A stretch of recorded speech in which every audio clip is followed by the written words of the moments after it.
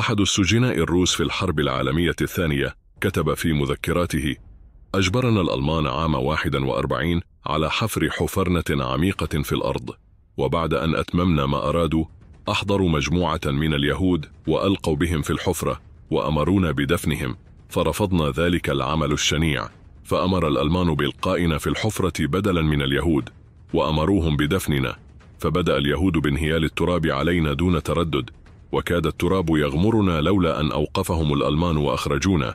لنفاجأ بالقائد الألماني يخاطبنا صارخا. أردتكم فقط أن تعرفوا من هم اليهود وأنهم ناكرون للجميل وليس لهم صديق.